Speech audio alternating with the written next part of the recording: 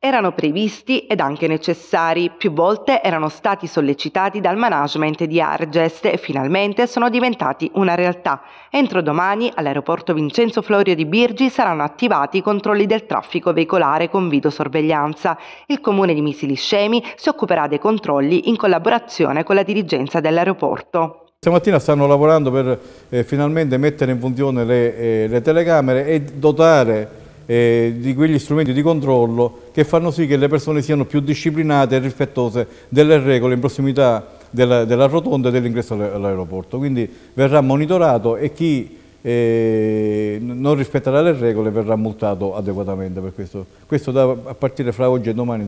Le novità che riguardano l'aeroporto non si fermano alla videosorveglianza, in attesa che venga costruita la tratta ferrata che collega Punta Raisa a Birgi, con conseguente costruzione della stazione ferroviaria a servizio dell'aeroporto, sempre il comune di Misiliscemi si è dotato di una convenzione con i tassisti di Erice. Abbiamo fatto un'altra cosa importante, forse te l'avevo già detto, abbiamo stipulato una convenzione con i tassisti di Erice, ancora noi non abbiamo avviato questa procedura, ma eh, nel frattempo l'obiettivo era quello di dotare il mio territorio della capacità di poter utilizzare un altro strumento di collegamento con l'aeroporto e, quindi i tassidieri eh, servono il nostro territorio e anche con dei prezzi eh, non esorbitanti. Insomma, avete fatto una convenzione per il eh, Esatto, e quindi questo sta per partire pure in questi giorni.